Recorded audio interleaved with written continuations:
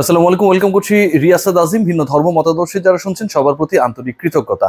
বাংলাদেশের টেস্ট অভিযান চলছে এবং প্রতিদিনই আসলে সবার একটা বিশাল হতাশা তৈরি হচ্ছে বৃষ্টিকে কেন্দ্র করে এবং সেই হতাশার মধ্যে একটা নাটকীয়তা, রোমাঞ্চকর পরিস্থিতি তৈরি করেছিলেন আমাদের বাংলার বাঘ টাইগার রবি।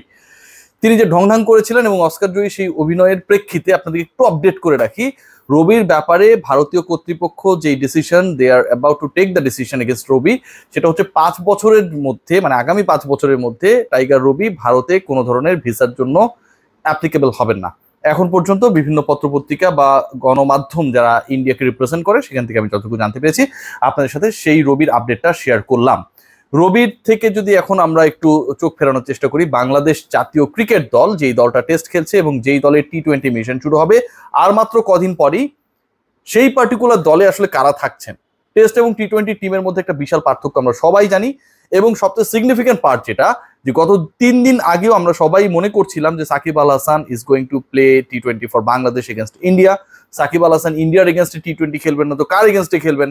বড় প্রতিপক্ষ এবং সাকিব আল হাসানের পারফরমেন্সটাও তাদের এগেনস্টে অনেক ভালো। কিন্তু সাকিব আল হাসান যেহেতু রিটায়ারমেন্ট কল করেছেন, সেটাকে বাংলাদেশ ক্রিকেট বোর্ড একসেপ্ট করেছে from test and T twenty T twenty তোলে সাকিব আল হাসান থাকছেন না। সবচেয়ে বড় চমক বা সবচেয়ে বড় অপেক্ষার অবসান আমার কাছে মনে হচ্ছে মেহেদি হাসান মিরাজের হতে যাচ্ছে। আপনারা সবাই জানেন যে আসলে অনেকটা অমূলকভাবে এই ক্রিকেটারকে দল থেকে বাদ দেওয়া হয় এবং বাদ দেওয়ার পর, বাদ দেওয়ার পর মেহেদি হাসান মিরাজকে আসলে কোথাও কোনোভাবেই বিবেচনা করা হচ্ছিল না। এবং কেন হচ্ছিল না, কোন প্রসেসের কারণে হচ্ছিল না, কার মাতবরি কারণে হচ্ছিল না, সেটা কম বেশি আপনারা সবাই জানেন। মেহেদি হাসান মিরাজের সবশেষ আসলে বাংলাদেশ দলের হয়ে যে রিপ্রেজেন্টেশন ছিল, সেটা ছিল নিউজিল্যান্ডে তিনি ভাইস ক্যাপ্টেন হয়ে সেখানটায় গিয়েছিলেন টি টোয়েন্টি দলের অংশ ছিলেন এবং শেষ পর্যন্ত টি টোয়েন্টি দলের অংশ থাকার পরেও মেহেদি হাসান মিরাজকে কোনো ম্যাচ খেলানো হয়নি despite he was the vice captain এরকম সিচুয়েশন আসলে ওয়ার্ল্ড ক্রিকেটে খুব কম রয়েছে, মেহেদি হাসান মিরাজ সেটা সাক্ষী হয়েছিলেন, এরপর থেকে Mehedi Hasan Miraz out of team so Mehedi Hasan Miraz is going to be the part of fifteen member squad পনেরো সদস্যের দলে মেহেদি হাসান মিরাজের থাকা নিয়ে কোনো ধরনের ডাউট নেই এবং এই ব্যাপারটা বাংলাদেশ ক্রিকেট বোর্ডের শীর্ষ পর্যায়ে থেকে আমাকে মোটামুটি নিশ্চিত করা হয়েছে। যারা সিলেকশন প্যানেলে রয়েছেন, তিনজন সিলেক্টর গাজী আশরাফ হোসেন, লিপু ভাই, হান্নান ভাই এবং রাজ্জাক ভাই, তারা এই বোল্ড ডিসিশনটা নেওয়ার ক্ষেত্রে অনেক বেশি প্রোয়াক্টিভ ছিলেন।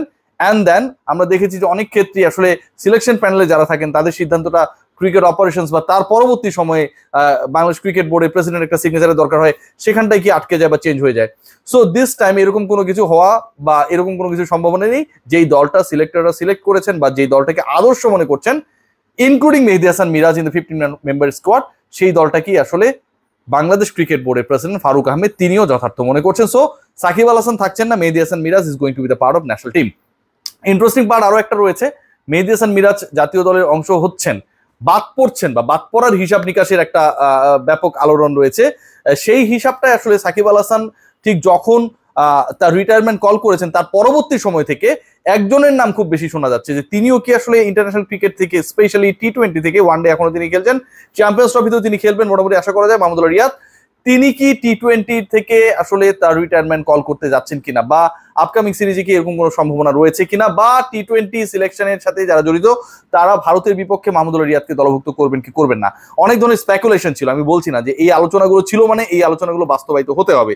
এই আলোচনাগুলো ছিল মানে এই আলোচনাগুলো খুব বেশি ভ্যালিড মাহমুদুল্লাহ রিয়াদকে এখনই ড্রপ করতে হবে মাহমুদুল্লাহ রিয়াদকে এখনই বাদ দিতে হবে মাহমুদুল্লাহ রিয়াদ চলে না। এরকম অপ্রাসঙ্গিক বক্তব্য কোনোভাবেই সাপোর্টেবল না। কিন্তু মাহমুদুল্লাহ রিয়াদের এন্ডটা কোথায়? মাহমুদুল্লাহ রিয়াদ কতদিন পর্যন্ত খেলতে চান? সেই প্রশ্নের আসলে উত্তর খোঁজার একটা চেষ্টা করা হয়েছে। তার আগে আমি আপনাদেরকে এনশিওর করি যে ভারতের বিপক্ষে বাংলাদেশের যে অনুষ্ঠিতব্য টি টোয়েন্টি দল সেখানটায় মাহমুদুল্লাহ রিয়াদ থাকছেন এবং Mahmudullah Riyad is going to play very vital role কারণ আপনারা সবাই জানেন যে সাকিব আল হাসান যেহেতু থাকছে না, দলে এই মুহূর্তে সিনিয়র মোস্ট ক্রিকেটার যদি আমরা খেয়াল করি, মুশফিকুর টি টোয়েন্টি খেলে না। মাস্টাফিবির মর্তজা তো অনেক আগে আসলে ইন্টারন্যাশনাল ক্রিকেট থেকে বাইরে রয়েছেন। তামিম ইকবাল খান খেলছেন না, সাকিব আল হাসান ছিলেন। সাকিব আল হাসানও খেলছেন না। So Mahmudullah Riyad is going to be the guardian of the team Mahmudullah Riyad দলে থাকছেন। পনেরো সদস্যের দলে মাহমুদুল্লাহ রিয়াদ খুব ইনফ্লুয়েন্সিয়াল রোলেই থাকবেন। তাকেই মোটামুটি দল পরিচালনা করা এক্সপিরিয়েন্স শেয়ারিং অনেক ইয়াং ক্রিকেটার ইয়াং ব্লাডস এইবারের দলটাতে আসলে ইনক্লুডেড হবে এখন পর্যন্ত যে আবাস রয়েছে। সো ওই জায়গাটায় মাহমুদুল্লাহ রিয়াদের দায়িত্বটা অনেক বেশি বেড়ে গেছে এবং মাহমুদুল্লাহ রিয়াদ থাকছেন। বাদ পড়ার হিসাব নিকাশ যদি বলি, তাহলে আরও একজন ক্রিকেটারকে নিয়ে এই আলোচনাটা রয়েছে যে তিনি আসলে শেষ পর্যন্ত বাদ পড়ছেন হয়তো। সেই ডিসকাশনে সবচেয়ে বেশি এগিয়ে, সবচেয়ে বেশি আলোচিত নাম হচ্ছে সৌম্য সরকার। সৌম্য সরকার যে ভারতের বিপক্ষে বাংলাদেশের তিন ম্যাচের টি টোয়েন্টি সিরিজ অনুষ্ঠিতব্য, সেখানটায় তিনটা ম্যাচ হবে, গোয়ালিয়রে হবে, দিল্লিতে হবে, হায়দ্রাবাদে হবে। সৌম্য সরকার মোস্ট প্রবাবলি সৌম্য সরকার হয়তো দল থেকে বাদ পড়ার যে লিস্ট বা বাদ পড়তে যাচ্ছেন, এরকম সম্ভাবনাটা খুব বেশি। ঢাকায় যে ম্যানেজমেন্টের সদস্যরা রয়েছেন সিলেকশন প্যানেলের সাথে টুকটাক আসলে যারা কাজ করছেন আমি চেষ্টা করেছি খোঁজখবর রাখার জন্য। যেহেতু এই মুহূর্তে আসলে ঢাকাটাই আমাদের ভরসা, বাইরে যারা রয়েছেন তারা টেস্ট নিয়ে ব্যস্ত।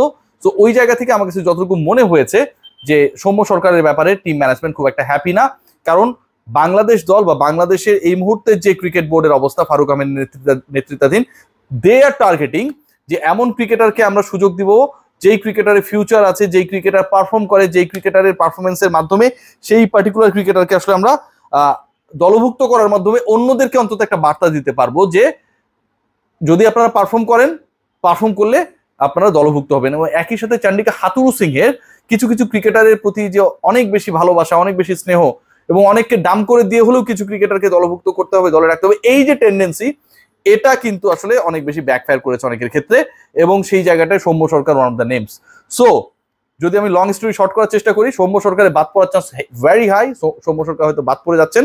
এরকম একটা আলোচনা রয়েছে এবং মাহমুদুল্লাহ রিয়াদ দলে থাকবেন গার্ডিয়ানশিপের রোলে তিনি থাকবেন, যেহেতু এটা একটা টাফ সিরিজ হতে যাচ্ছে ভারতের এগেনস্টে সাকিব আল হাসান নেই। সবচেয়ে বড় নিউজ যেটা, মেহেদি হাসান মিরাজ, নিউজিল্যান্ডের বিপক্ষে আমরা জানি গেল বছরে নভেম্বর, ডিসেম্বরে বাংলাদেশের হয়ে সর্বশেষ তিনি আসলে দলভুক্ত হয়েছিলেন ট্যুর করেছিলেন, খেলতে পারেননি ভাইস ক্যাপ্টেন ছিলেন। তিনি ফাইনালি দলভুক্ত হচ্ছেন এবং মেহেদি হাসান মিরাজের রোলটা অনেক বেশি গুরুত্বপূর্ণ হবে। মেহেদি হাসান মিরাজকে দলভুক্ত করাই হচ্ছে তাকে একাদশে খেলানোর জন্য। আমি আবারও বলছি I am repeating Mehidy Hasan মিরাজকে দলভুক্ত করার উদ্দেশ্যটাই হচ্ছে তাকে যেন একাদশে খেলানো যায়। দুটা খুব গুরুত্বপূর্ণ কারণ, একটু জাস্ট আপনাদেরকে বলে শেষ করব। এক নম্বর হচ্ছে সাকিব আল হাসান যেহেতু নেই সো ওই অলরাউন্ডারের জায়গাটায় এই মুহূর্তে মানে একদম কম্প্যাক্ট অলরাউন্ডার যদি কাউকে খোঁজা হয়, সেটা হচ্ছে মেহেদি হাসান মিরাজ বোলিং ব্যাটিং এবং একই সাথে যে কোনো জায়গায় তিনি ব্যাটিং করতে পারেন রান করতে পারেন হিট করতে পারেন, সেই অ্যাবিলিটি তার রয়েছে, এটা নিয়ে আসলে কোনো ধরনের ডাউট নেই। সেটা একটা, যে সাকিবের জায়গায়, সাকিবের তো আসলে রিপ্লেসমেন্ট বাংলাদেশে কেউ কখনো হতে পারবে না, বাস্তবতা। কিন্তু যতটুকু পারা যায় মেহেদি হাসান মিরাজকে দিয়ে, সেই জায়গাটা ফুলফিল করা। আর সেকেন্ড পয়েন্ট যেটা ইন্ডিয়ার এগেনস্টে মেহেদি হাসান মিরাজের যে পারফরমেন্স বিভিন্ন সময় মেহেদি হাসান মিরাজ এর আগেও যখন শর্ট ভার্সনে খেলেছিল বাংলাদেশ মানে ওয়ান ডেতে বাংলাদেশের ঘরের মাটিতে, তখনও মেহেদি হাসান মিরাজ অনেক বেশি ইফেক্টিভ ছিলেন। সো ওই জায়গা থেকে মেহেদি হাসান মিরাজকে আসলে বিবেচনা করা হচ্ছে, যেহেতু যেই উইকেটগুলোতে খেলা হবে, সেই উইকেটগুলোতে আসলে কতটুকু সাবকন্টিনেন্টাল বিহেভিয়ার থাকে, সেটাও একটা দেখার বিষয়। দিল্লির উইকেট নিয়ে অনেক ধরনের আলোচনা আমরা দেখব, হয়তো হায়দ্রাবাদের উইকেট নিয়ে দেখব। এবং সেই সিচুয়েশনসগুলোতে আসলে মেহেদি হাসান মিরাজ কীভাবে কাজে লাগে, কীভাবে কাজে লাগানো যায়, সেই ব্যাপারগুলো রয়েছে। So Bangladesh T twenty team is final Shakib Al Hasan থাকছেন না। সৌম্য সরকার বাদ পড়ার সম্ভাবনায় খুব বেশি এগিয়ে। মাহমুদুল্লাহ রিয়াদ দলভুক্ত হচ্ছেন, থাকছেন, খেলছেন, খেলবেন। Mehidy Hasan Miraz is going to be the part of the team কারণ সাকিব যেহেতু থাকছেন না, তার জায়গা এবং একই সাথে যেহেতু বাংলাদেশ ক্রিকেট বোর্ডেই একটা বড় পরিবর্তন এসেছে, তারা অমূলকভাবে কোনো ক্রিকেটারকে বঞ্চিত করতে চান না। দিস এ গুড নিউজ আরও অনেক আপডেট নিশ্চয়ই পাবো, থাকবে, সেগুলো আপনাদের সাথে শেয়ার করে দেবো। সবাই ভালো থাকবেন টেক গ্রেট কেয়ার